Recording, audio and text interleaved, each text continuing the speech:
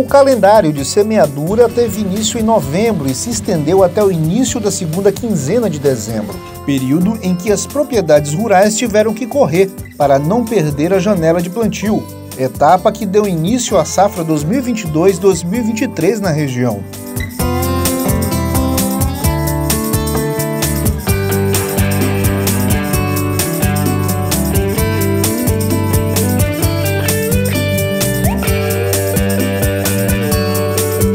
Para o sucesso do plantio neste período, os agricultores prepararam o solo de forma correta, plantaram as sementes juntamente com o adubo e com auxílio das plantadeiras e pulverizaram as áreas plantadas com a oleaginosa. Tudo isso utilizando a agricultura de precisão, gestão de informação que utiliza tecnologia com o objetivo de aumentar a produção, com maior eficiência e sustentabilidade dos recursos econômicos e ambientais eu tenho as taxas de semente e as taxas de adubo que eu desejo jogar na linha, tipo aqui, 244 é 244 milhões de semente por hectare.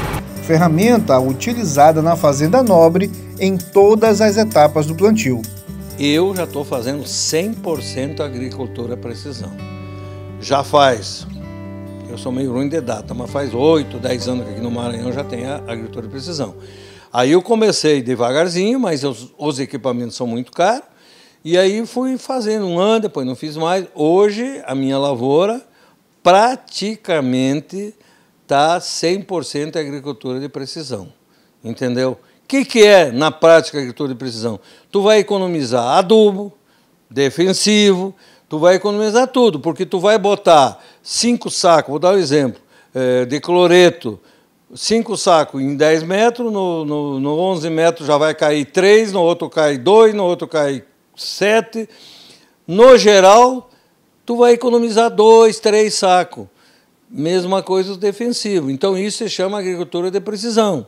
É muito bom, os equipamentos são caros, tem que ter equipamentos especiais, internet, tudo, mas isso eu já estou, graças a Deus, estou conseguindo fazer.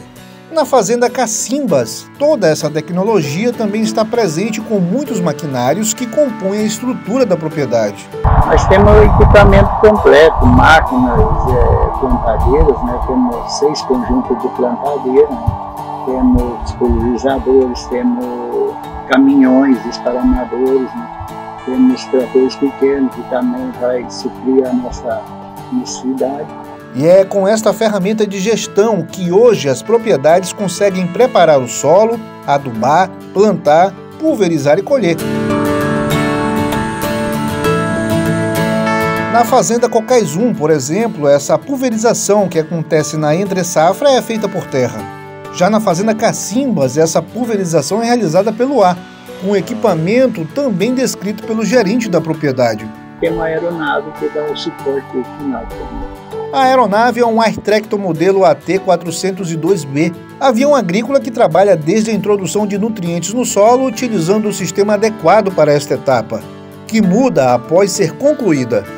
Acabando esse processo, a gente troca esse equipamento e coloca as barras de pulverização, que daí já inicia o plantio e começa a pulverização de hum. defensivos. Né? No teu caso aqui, com a aeronave agrícola, é importante que tu esteja sempre próximo ao solo, né? Isso não traz um risco maior para o piloto, para o modo de pilotar? Como é que é essa diferença de um, de, um, de um piloto que tem que atingir uma altitude de cruzeiro para um piloto que tem que se manter ali próximo ao solo? Então, a gente tem né, obstáculos, né? Árvore, fio, pássaros, né? Então, e a nossa média de aplicação é, de pulverização é de 3 a 5 metros do solo, né? Ou quando está a planta é do topo da planta, entendeu? Essa parte de sólido já voa em torno de 18 a 20 metros de altura do uhum. solo. É, tem um, é um risco muito maior, né? Você está o tempo todo com risco, alta velocidade, baixa altura, né? Com vários obstáculos, né? A aeronave custa em média 8 milhões de reais e tem capacidade de armazenar para voo 1.510 litros de produtos químicos para serem distribuídos nas áreas de plantio. Um trabalho importante e de grande responsabilidade realizado pelo piloto, que é indispensável em uma propriedade com áreas muito grandes. Eu creio assim, a, a aviação agrícola, né, tá, é um serviço que está essencial hoje na agricultura. É, a alta produtividade requer uma aeronave dessa porque você evita amassamentos, né? E a janela nossa aqui é muito curta, então nós temos plantar rápido, então as pulverizações têm que ser rápidas e o terrestre não dá conta de, de executar esse serviço. Então, hoje, para a agricultura é essencial a aeronave agrícola. E para a hora da colheita é fundamental que a agricultura de precisão também esteja presente. Na Fazenda Cocais 1, por exemplo, o produtor Jairo fez a aquisição de um novo equipamento com tecnologia que permite a exatidão na preservação do grão. É, essa aqui é uma, foi a aquisição mais recente que a gente fez na, na fazenda, né? É um sistema de máquina que trabalha com sistema de rotores, né? É um pouco mais diferente das máquinas mais antigas, né? É, que atende às nossas necessidades, né? E assim, dá muita qualidade no grão, não quebra tanto o grão, né? Certo? E o grão, certo, fica, fica mais perfeito, né? É, a parte frontal dela aqui, que a gente chama plataforma, né? É de esteira, né?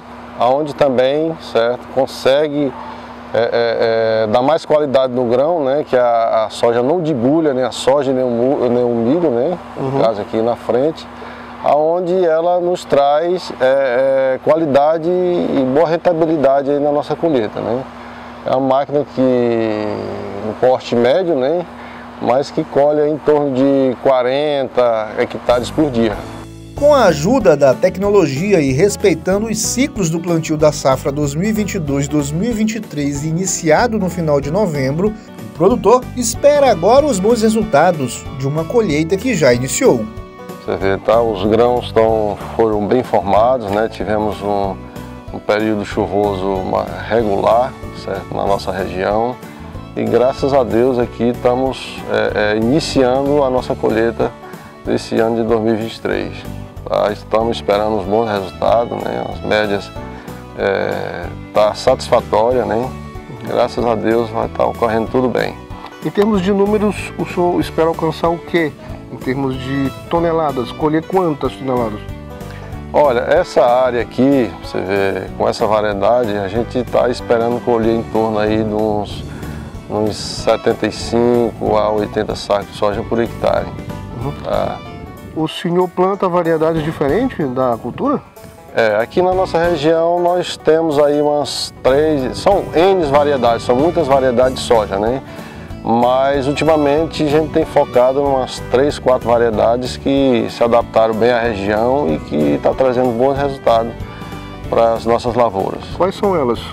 É, nós temos a Domínio, Extrema, Olimpo, né? Uhum. São as variedades que mais é, é, têm se adaptado aqui na nossa região. Está trazendo bons resultados, são variedades é, resistentes, né? Tá? e está trazendo os bons resultados para nossa, nossas lavouras.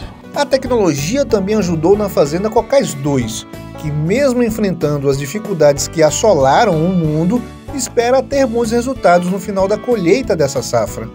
A produtividade né, que a gente espera hoje é em torno aí acima de 65 sacos né, por hectare e né, devido os altos custos de, de, de, produção do ano passado, né, dessa safra agora que foi implantada, é, os custos de fertilizante, de produto químico, que eles subiram bastante, né, visto o cenário internacional que a gente enfrentou de guerra é, e pandemia, né, os reflexos ainda desses, desses esses episódios. É, e assim, a, a, a, média aí de venda de, de, dessa produção do, do, da safra 22-23 em torno aí de 160, 170 reais por saco. Uhum. Um resultado é, positivo. Resultado positivo, pensando aí nesse, nesse cenário. E a exemplo da fazenda Cocais 1, o que é que a Cocais 2 vai fazer após é, a colheita em cada área dessa? Assim, a gente tem, tem traçado né, um planejamento de, de plantio de safrinha, né? É, inclusive a gente já tem um, um milho já plantado na, na fazenda, já germinado, né? É, temos agora, em seguida, iremos plantar um milheto, né, que é uma outra, outro cultivo que a gente faz aí né, safrinha, né? que dá uma, uma formação de, de, de palha, proteção de solo e também garante aí um, uma quantidade de grão para ser comercializada para pagar esse custo aí de plantio, de, de, de operação, né, de uhum. plantio dele e cultivo.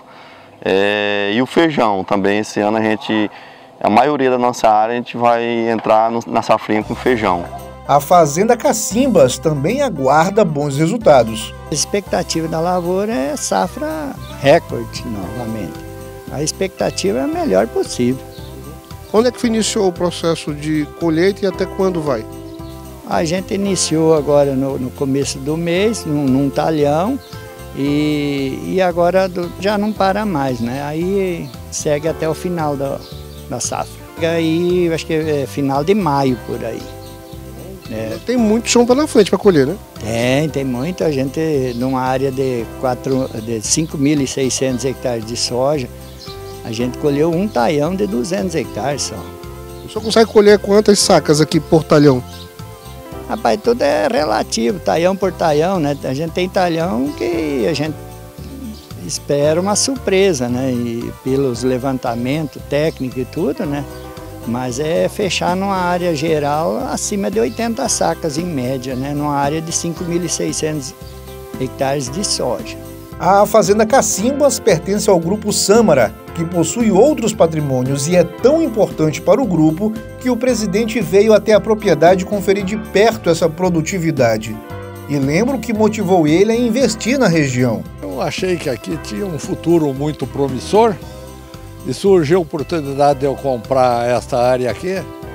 E aí a gente foi comprando os pedaços daqui, dali, e hoje, graças a Deus, tem uma área bem muito boa, muito sustentável, produtividade excelente. Fomos campeões de produtividades por dois anos consecutivos aqui.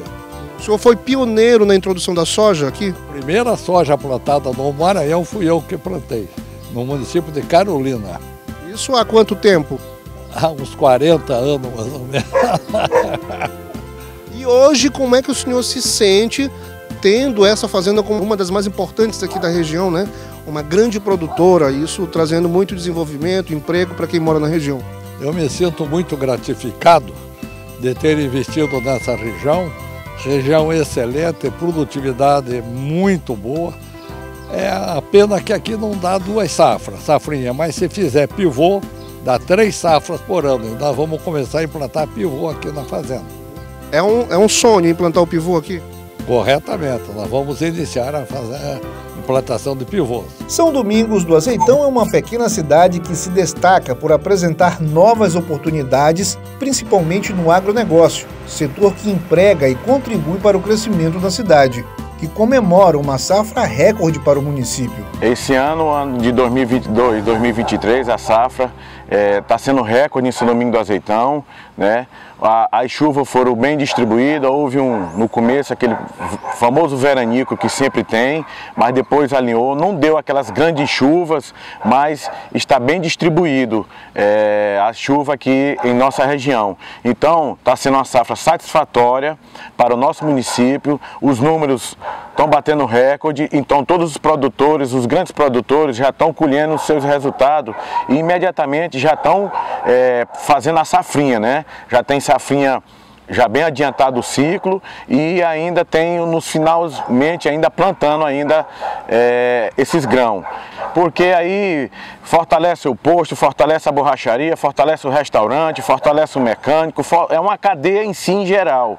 Uhum. E assim também as fazendas nossas, grandes fazendas nossas, nosso município, que colhe bem, estão colhendo bem, também tem uma cadeia que tem vários operadores trabalhando e essas pessoas, essa mão de obra, mora em nosso município. Então, traz recursos para o nosso município, melhoria de suas casas, compra de automóveis, então a gente vê a satisfação em geral. Júnior, nós podemos acompanhar aí desde o início desse processo essas três fazendas, né? no caso quatro. A Fazenda Nobre, a Fazenda Cacimbas e a Fazenda Cocais 1 e 2. Esses são apenas um pequeno grupo de fazendeiros que tem um grande processo, um grande volume, mas existem muito mais aqui no município. Sim, nós temos vários outros produtores. É, tem a Fazenda Cajás, tem a Fazenda Prata, né? tem outras fazendas Santa Luzia e demais. Tem muitas fazendas aqui ainda, né? São Domingo, a cada dia, a cada ano, aumenta os números. Então a nossa economia só tem a ganhar. Algo que você quer destacar?